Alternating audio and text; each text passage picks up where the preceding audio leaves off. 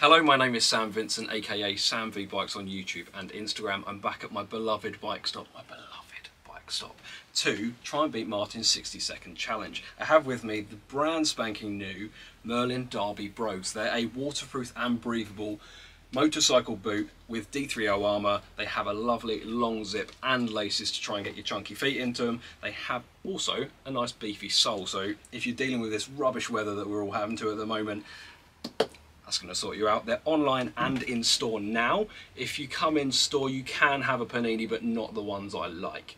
So uh, yeah, you have to check with me first. Thank you very much for joining us. Go and get them now because they'll look really good with your brand new motorcycle jeans